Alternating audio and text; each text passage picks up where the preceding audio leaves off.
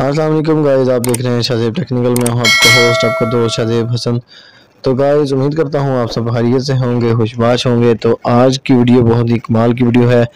बहुत की बहुत ही कमाल की वीडियो आपके लिए लेके आया हूँ मैं.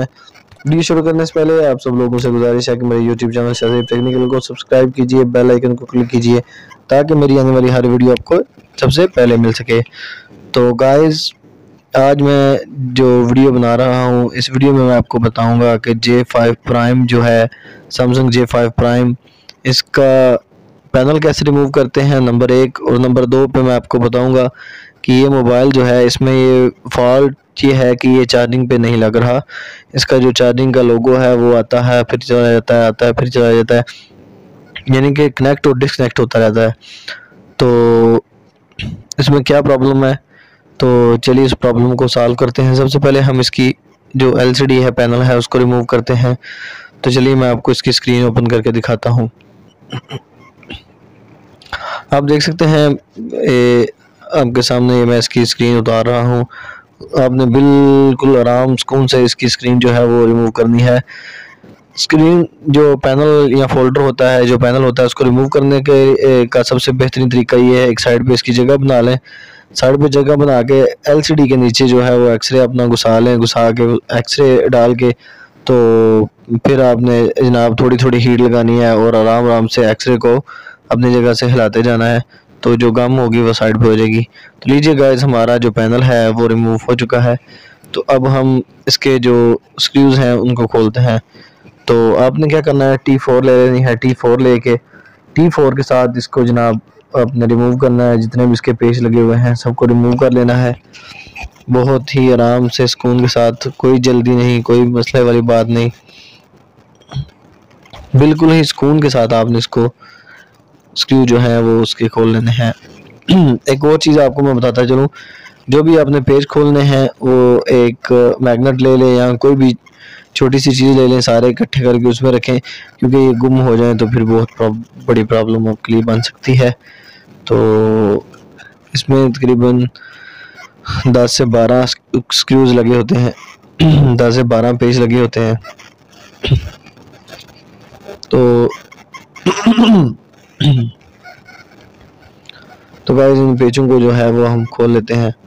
तो आपके सामने ये मैं खोल रहा हूँ जनाब पेज सारे इसके। तो गाइस आपने कोई भी पॉइंट मिस नहीं करना। वीडियो को लास्ट तक देखना है। कोई भी पॉइंट आपने मिस नहीं करना है इस मोबाइल का मैं आपको फिर से बताता चलो, इसमें जो प्रॉब्लम आता था, वो चार्जिंग बेस का था प्रॉब्लम यानी कि चार्जिंग पे नहीं लग रहा। खैर चार्जिंग बेस तो इसकी चेक की थी चार्जिंग बेस तो इसकी बिल्कुल सामने से बिल्कुल ओके नज़र आ रही थी। तो अब हमने इसकी स्क्रीन जो है, वो उतार ली है। आपके सामने मैंने इसकी स्क्रीन अभी उतारी है गाइज़ तो आपने क्या करना है? इसके पेज खोल लेने हैं। पेज खोलने के बाद आपने इसकी जो सिम ट्रे हैं, उनको निकाल लेना है पहले, क्योंकि सिम ट्रे निकालना बहुत ज़रूरी है। और इसमें जो प्रॉब्लम हो सकती है, वो क्या हो सकती है, ये मैं आपको ट्रेस करके बताऊँगा। चार्जिंग क्यों नहीं लग रहा? क्या मसला है इसको? क्यों नहीं चार्जिंग लग रहा? तो आपके सामने ये इसके मैं पेज सारे निकाल रहा हूँ भाई। ठीक है जी। तो ये आप देख सकते हैं। इसके सारे पेज जो हैं वो खुल चुके खुल चुके हैं तकरीबन। आलमोस्ट आलमोस्ट सारे पेज जो हैं वो निकल चुके हैं।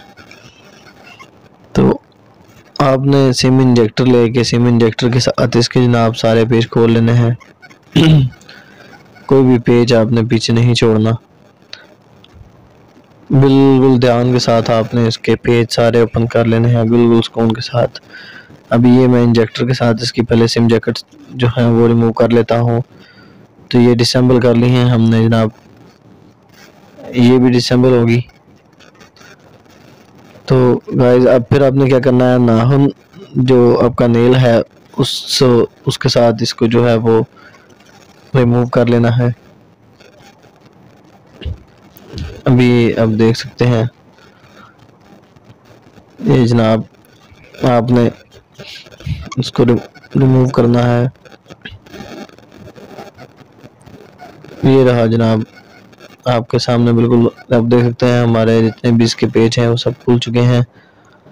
तो गाइस अभी आपके सामने सबसे पहले तो इसकी बैटरी जो है वो उतरी हुई है। तो सबसे मेन बड़ी वजह ये भी हो सकती है चार्जिंग ना लगने की। दूसरा, इसकी बेस भी वाश करते हैं। बेस को अच्छी तरह से आपने वाश कर लेना है बेस को वाश करने के लिए आपने पेट्रोल इस्तेमाल कर लेना है, या सी टी सी इस्तेमाल कर लेनी है। सी टी सी का मतलब होता है carbon tetra cleaner carbon tetra cleaner इसको इसलिए कहते हैं क्योंकि वो जितने भी इसमें कार्बन वगैरह होता है या जंग वगैरह जमा होता है, वो उसको क्लीन कर देती है प्रोटेक्टर लगाने के लिए भी यूज़ होती है। तो अभी ये मैं इसकी बैटरी असम्बल करके इसके अंदर लगा के बैटरी लगा के इसको फिर चार्जिंग भी लगा के चेक करूँगा। इसकी जो चार्जिंग वाली प्रॉब्लम है, वो सॉल्व हुई है कि नहीं? अभी आपके सामने मैं अभी आपको चेक कराता हूँ तो आपने फिर इसको स्क्रीन को लगा लेना है दोबारा से। दोबारा से स्क्रीन को आपने बिल्कुल आराम से सुकून के साथ इसको जो है वो लगाना है। तो अभी ये गाइस ये हमारा जैक जो है वो लग गया है। चलिए इसको चार्जिंग पे लगा के चेक करते हैं। अब ये चार्ज कर रहा है कि नहीं कर रहा? तो ये मैं इसको चार्जिंग पे लगा के चेक कराता हूँ आपको। बिल्कुल भी आपने परेशान नहीं होना, बिल्कुल भी आपने टेंशन नहीं लेनी। तो ये रहा जनाब आपके सामने। तो गाइस आप देख सकते हैं, हमारा फ़ोन जो है वो चार्जिंग पे लग चुका है। तो लीजिए गाइस हमारा मोबाइल जो है वो चार्जिंग पे लग चुका है। हमारा चार्जिंग का प्रॉब्लम था, वो सॉल्व हो चुका है। तो उम्मीद करता हूँ मेरी आज की वीडियो आपको अच्छी लगी होगी। तो मिलते हैं किसी नेक्स्ट वीडियो में। तब तक के लिए अपने होस्ट सदैफ हसन को दीजिए इजाज़त। अपनी दुआ में याद रखिएगा। अल्लाह हाफिज़, अल्लाह निगबान जाने से पहले आप सब लोगों से गुजारिश है कि मेरे यूट्यूब चैनल सजीब टेक्निकल को सब्सक्राइब कीजिए। बेल आइकन को क्लिक कीजिए ताकि मेरी आने वाली हर वीडियो आपको सबसे पहले मिल सके। तो अल्लाह हाफिज़, अल्लाह निगबान Goodbye.